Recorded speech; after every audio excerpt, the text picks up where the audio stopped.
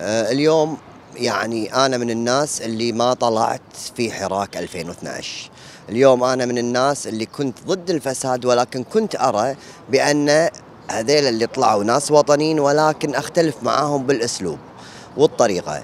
الآن بعد ثمان أو تسع سنوات اكتشفت بأن أنا أخطأت. كان المفروض أطلع في ذلك الوقت لسبب بسيط.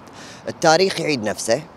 والفساد يزداد ونفس الأسلوب. يعني في 2012 وصل مجلس أغلبية أبطل هذا المجلس وحوربت الديمقراطية وصودرت. الأمر الآخر يعيد التاريخ نفسه اليوم. نحن أمام أغلبية وتصادر الحريات ويصاد تصادر الحقوق. هذا من زاوية. من زاوية أخرى اليوم إحنا شفنا أساليب ملتوية للضحك على الشعب.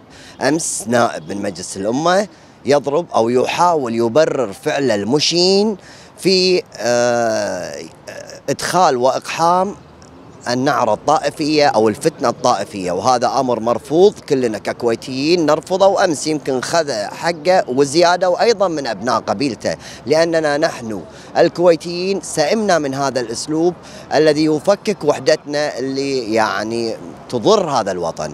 وشفنا أسلوب آخر راحوا رتبوا عملية سمو الأمير مشكورا يقابل جميع أعضاء مجلس الأمة فبالتالي ذهبوا ليقابلوا حضرة مقام سيدي صاحب السمو ويحاولون يخلقون من هذه المقابلة تبرير لهم وهو إن سمعا وطاعة سيدنا ولي الأمر.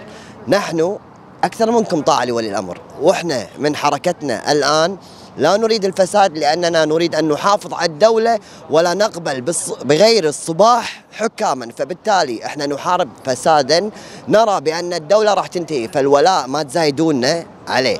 اليوم هذه حجة تبون تخوفون الناس أو تكسبون الناس معكم اليوم أنتم تنازلتوا عن حق الأمة في أن تقرر من هو يكون عضو أو ما يكون عضو دون تدخل من أي سلطة أخرى.